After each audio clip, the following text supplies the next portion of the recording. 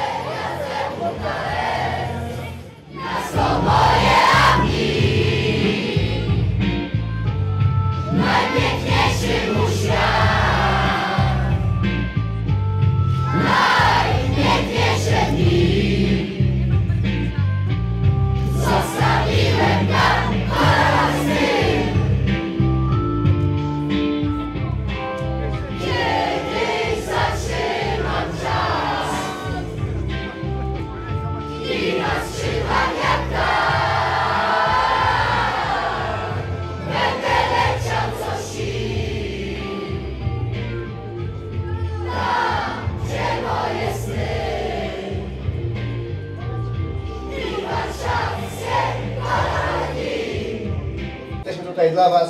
Życzymy Wam wszystkiego najlepszego z okazji Mikołajki, zbliżających się świąt e, Bożego Narodzenia.